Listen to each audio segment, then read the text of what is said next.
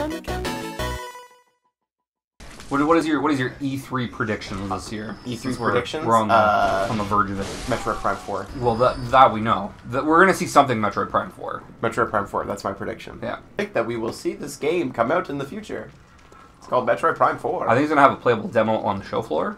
Like that's gonna be something realistic. oh my god. So how'd you do that? Uh, dodged? Yeah. Uh, the circle button. Okay, that I didn't know. See, I'm learning. Ah! I'm learning vicariously through you.